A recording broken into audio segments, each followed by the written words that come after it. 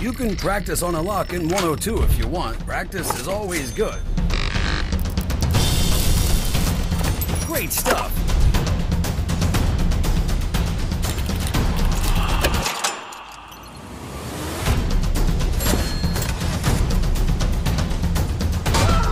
You can disable a camera with your drone. As you gain experience, better tools will become available to you. They're coming. You have one minute.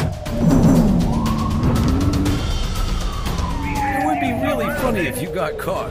Right now!